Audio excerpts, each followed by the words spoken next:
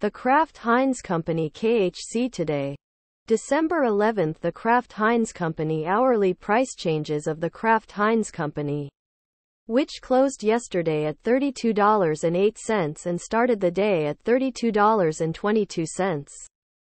The Kraft Heinz Company reached maximum $32.32 today, and the lowest stock price was $31.835.